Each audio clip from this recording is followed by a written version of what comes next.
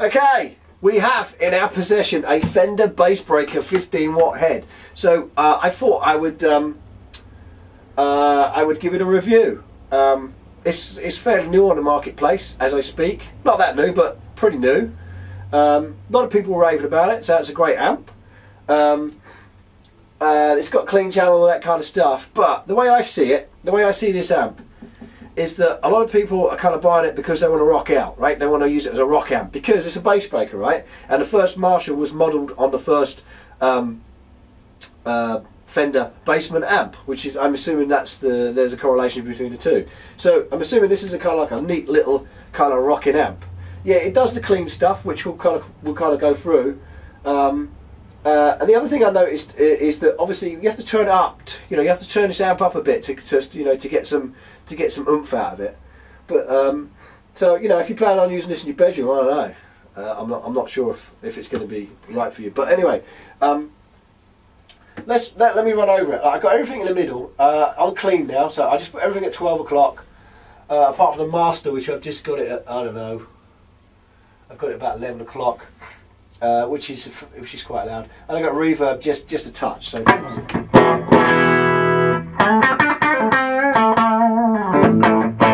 I mean, at that kind of volume sounds a bit muddy to me, but I'm sure if we up the master, that still sounds muddy to me. Anyway, so um, so that's 12 o'clock on clean, which is fine, I suppose. Um, Nothing to write home about, I don't think, personally. Uh, I've got the bright switch engaged as well. So let's go to the middle, which is uh, which is called mid. Ah, it's better.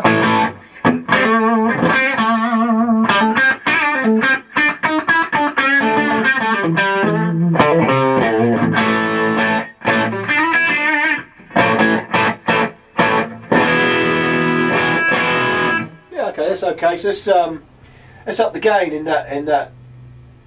See if we can get some kind of um, bit more saturation going on.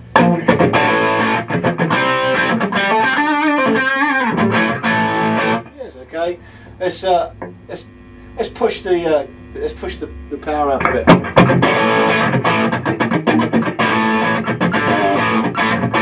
Yeah. Okay. Sounds good. Uh, now really the high gain, which is I, am assuming most people are going to use this amp for this because it excels uh, in this mode, completely excels.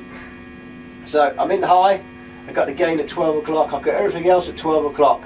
I mean, you can tweak those all you like. I got about um, the volume at 11, master volume 11. I just got a little bit of reverb because I don't want to colour it too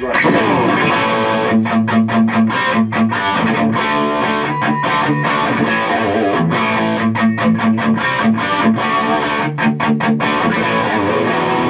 so that's quite a good overdrive. Don't forget, these are very low power pickups I got in here. So if you've got high power pickups, you're going to drive this a lot harder.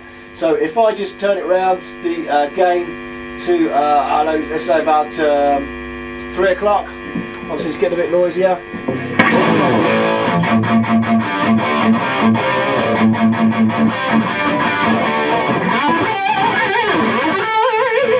Yeah, it's starting to sing now. Okay, I can kick with this amp like that. Let's turn the master up a little bit more.